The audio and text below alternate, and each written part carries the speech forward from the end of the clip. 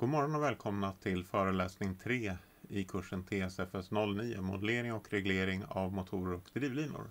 Dagens tema kommer att vara en liten repetition av det vi har gjort tidigare. Sedan kommer vi att gå in på motorns arbetsprinciper och repetera termodynamik och sedan använda termodynamiken för att få fram modeller som beskriver motorns motormoment. I föreläsningen kommer vi först att repetera lite grann om luft och bränslet och de modeller vi har tagit fram. Och det kommer att resultera i en sammanfattning som ni kan använda i ert modelleringsarbete. Därefter går vi igenom arbetsprinciperna och momentgenereringen och sedan repeterar vi termodynamiken. Därefter går vi in och räknar oss en cykel runt och sedan fördjupar vi oss ytterligare lite mer i motorns arbetsprinciper. Och sedan kommer vi även till knack, vilket är bensinmotorns huvudbegränsning. Det vi gått igenom hittills har varit relaterat till motorn där vi har tittat på trottel. Vi har tittat på luftmassflöde in till motor, vi har tittat på insugsrörets volym och den dynamik som finns där i och sedan har vi följt bränslets väg in till motorn ut till lambdasensorn. Och jag har pratat mycket om att återanvända den kunskap som man redan har byggt upp. Det vill säga, ni kommer i projektet att kunna återanvända insugsrörsmodellen som ni har till att modellera avgasgrenrörsmodellen och därmed så behöver man inte implementera samma modell flera gånger utan man kan återanvända de implementerade ekvationerna och därmed komma fram snabbare till resultaten. Cylindern har jag pratat om fyllnadsgradsmodellen och när det gäller flödet ut till avgaserna så är det luft plus bränslet som kommer att flöda ut. Vi kommer att behöva en avgastemperatursmodell men den kommer lite senare. Och sedan så kommer vi att behöva en momentmodell för att veta med vilket moment driver vi fordonet framåt? På förra föreläsningen gick vi igenom bränsleinjektorn och såg att bränsleinjektorn öppnas av en puls där vi lägger på pulsen på spolen här som får injektornålen att åka upp och släppa fram bränsle. Och massan bränsle som vi får in, så att mass fuel injected, är då proportionellt emot den tid som vi har den öppet och sedan har vi en sammanslagen öppnings och stängningstid som relaterar till hur snabbt vi kan få in energi i spolen och lyfta nålen. Lägre batterispänning gör att det inte sker lika snabbt och det är viktigt att ta hänsyn till i samband med kallstarter när startmotorn drar väldigt mycket ström och därmed sänker batterispänningen. Kompenserar man inte för det då kan man då misslyckas att starta motorn. Och sedan så har vi komponenter som relaterar till flödesfenomenen. Normalt sett så försöker man reglera trycket över ventilen så att det varierar inte så mycket.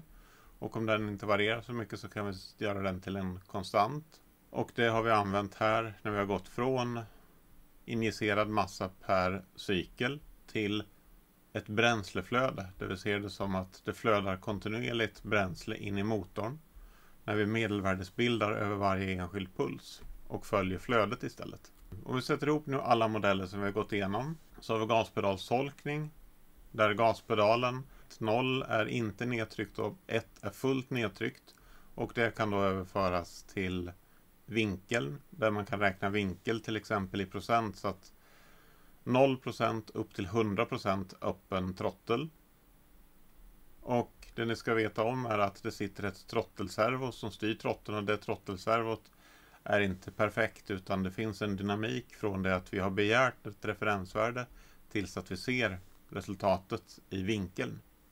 När vi väl har vinkeln så kan vi stoppa in den i luftflödesmodellen för trottel som går in till insugningsröret där vi har väsentligen tre komponenter som är relaterade till densiteten. Högre densitet ger högre massflöde.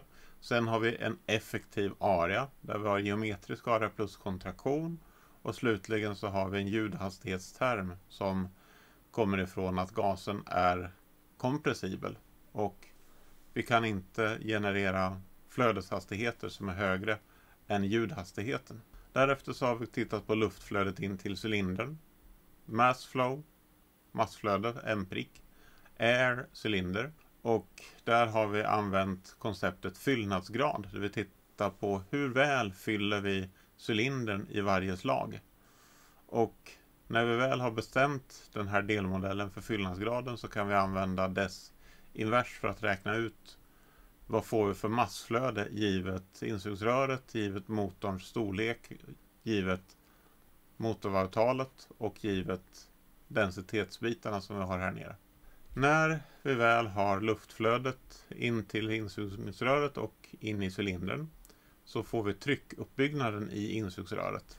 Där vi använder oss av massobalansen för att bestämma hur mycket öka trycket eller minska trycket. Om vi fyller på från trottel så får vi en tryckökning. Om den då är större än det vi suger ut från insugsröret in i cylindern. Sedan så har vi flödesmodell för katalysator som bäst beskrivs av en inkompressibel turbulent strömning. Och gasflödet som kommer från motorn passerar genom är sammanslagningen av luft tillsammans med bränslet. Vi har också tryckuppbyggnad i avgasröret. På samma sätt, det är samma ekvation som ni känner igen här för det som vi hade för insugsröret. Men med olika insignaler. Det är massa till cylinder som fyller på och det är massa från katalysator som tömmer ut den. Sedan har vi avgastemperatur och den kommer jag att prata om lite mera senare. Det finns föreslagna modeller i kompendiet också. Så nu har vi fått in luft och vi har tittat på gasernas flöde genom motorn. Nästa steg blir att titta på bränslet. Och där har vi bränsleinjektor som för en portinsprutad motor ger det här bränsleflödet som går in ifrån injektorn. Innan det kommer in i cylindern så har vi då bränslefilm. De beskrivs som de här parametrarna där man har ett X här, en andel av den injicerade massan fastnar på bränslepölen. Sedan så avdunstar en del av bränslepölen med avdunstningstidskonstanten tau. Och det som sedan går in i cylindern, massflöde av bränsle till cylinder, mass flow fuel cylinder, är då det som inte fastnade i filmen plus avdunstning. Så det här är en modell som är baserad på massans bevarande. Här ser vi hur massans bevarande kommer in. Bränslet delas upp så att totala massan bränsle som vi stoppar in försvinner inte utan antingen går den till bränslepölen eller så går den in till cylindern och det som avdunstar från bränslepölen det går in till cylindern.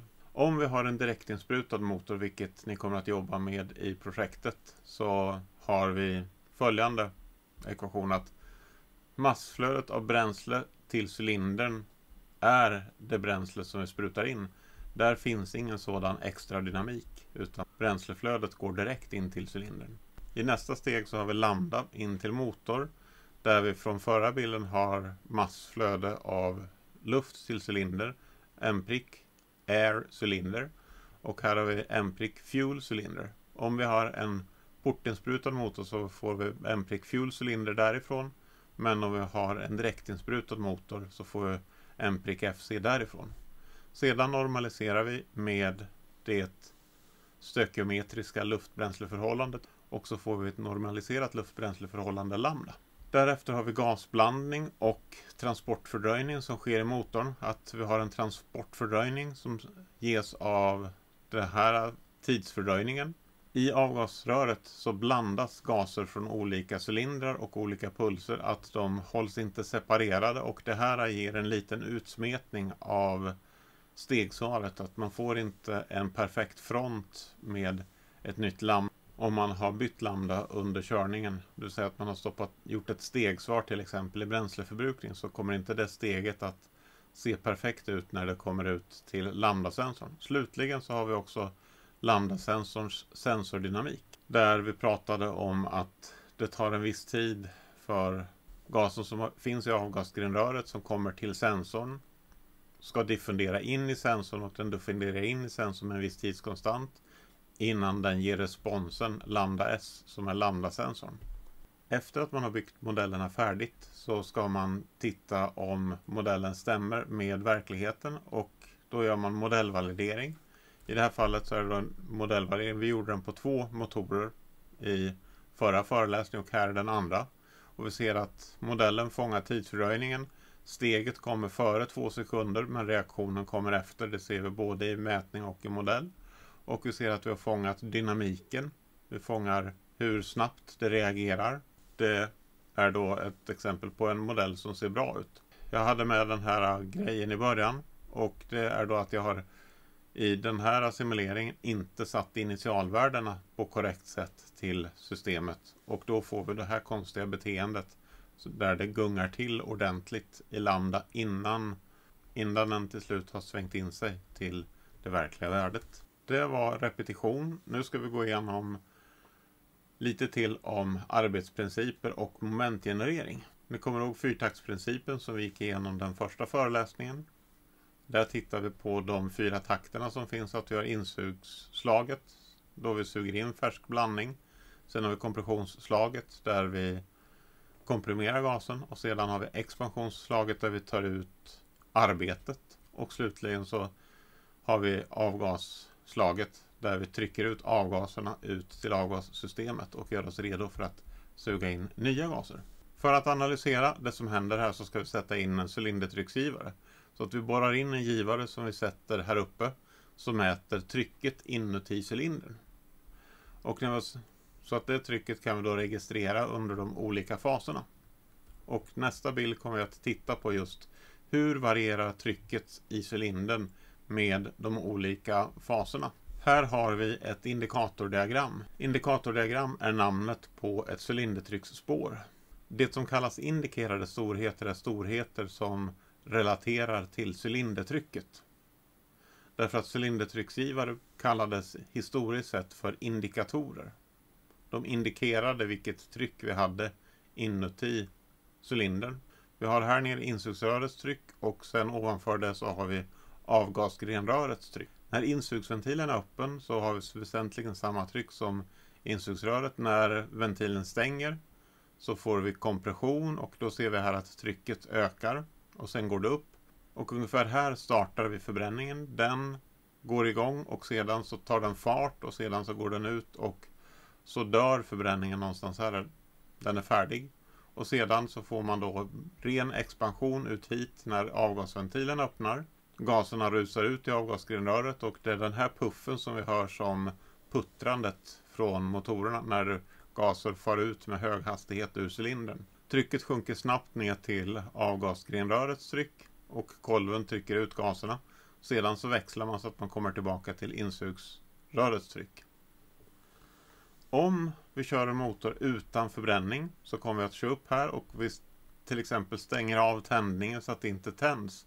Då går cylindertrycket upp och vänder och det blir som störst vid övre dödläge här vid nollan. Och sen går det då ner och så kommer det upp tillbaka. Och här öppnar vi avgasventilen och då blir trycket detsamma som avgastrycket.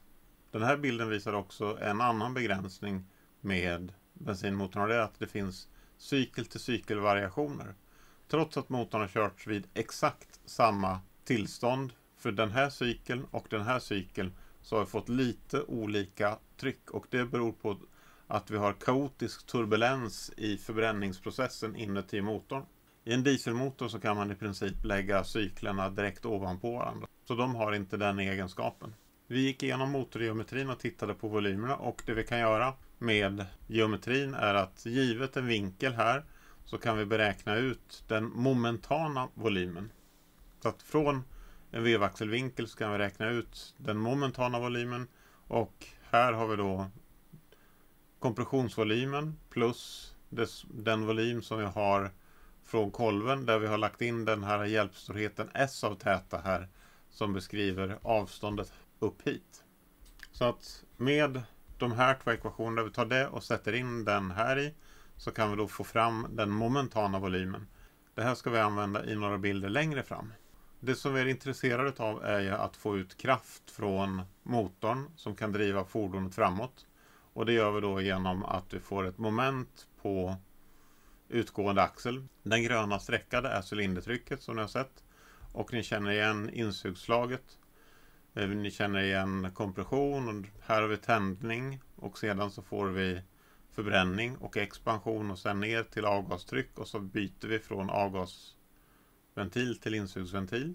Och trycket är, syns, storleken på trycket syns på den här sidan. Och på den här sidan så har vi det momentana momentet. Om vi tar motorns geometri här. Vi sätter in trycket som vi har här uppe som trycker på kolven med en viss kraft. Vi använder länkarmarna här för att räkna fram vilken vinkelrät kraft vi har här och därefter så kan vi då räkna ut vad har vi för moment som trycket här inne i cylindern genererar ner på vevaxeln. Så här ser vi pulsationerna. Eh, när vi går upp under kompression så krävs det moment. Det här momentet tar man från svänghjulet som sitter på motorn. Svänghjulet är en massa som man har bundit upp kinetisk energi i och den håller igång motorn så att vi klarar av kompressionen. Och sedan när vi väl har kommit över kompressionen och kommit upp till övre dödläge så börjar vi på att få vår momentgenerering som kommer ifrån att gastrycket i cylindern trycker på kolven som då uträttar arbete ner och då för vi in arbete in till vevaxeln. Sen när vi kommer till andra sidan här så konsumerar vi lite arbete och sedan så under sugsidan så kommer vi över igen.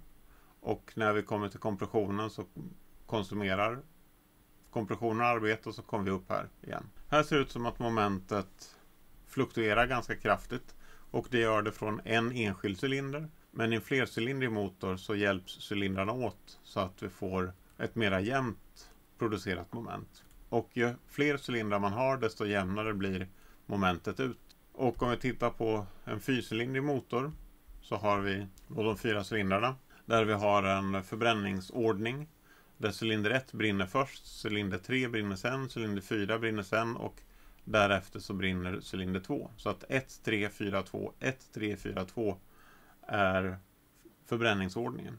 Om vi nu tittar på momentet som vi får tillsammans av alla cylindrar så ser vi här då vad nettoproduktionen är. Vi har lagt in eh, de enskilda cylindrarna som dels den heldragna blå här för cylinder 1 och den röda eh, här är för cylinder 3 och den gröna är cylinder 2 och den svarta är cylinder 4.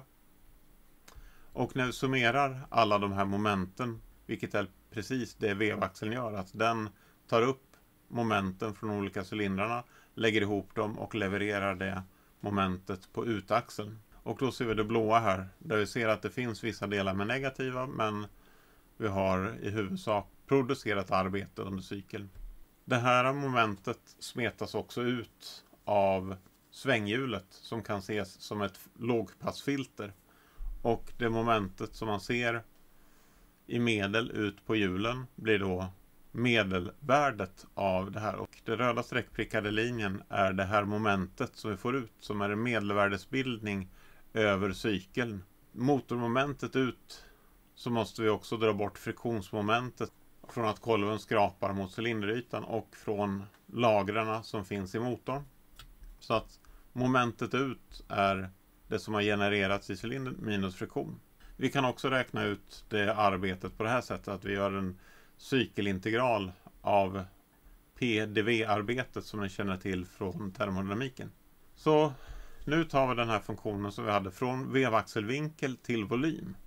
Och från vevaxelvinkel till volym så kan vi då generera en plott som går i PV-diagrammet. Så att vi på X-axeln här så har vi nu volymen och på Y-axeln här så har vi cylindertrycket. Och det här är då PV-diagrammet som ni känner igen från termodynamiken. Och i det här fallet så har vi då hela PV-diagrammet medan här så har vi förstorat upp den delen som är relaterad till gasväxling. När avgasventilen öppnar och vi kommer ner, åker över, insugsventilen öppnar, avgasventilen stänger. Så att här har vi något som kallas för ventilöverlapp. Att båda ventilerna är öppna samtidigt. Sedan så åker vi ner här och sen stänger insugsventilen där borta. Och vi får ren kompression därefter.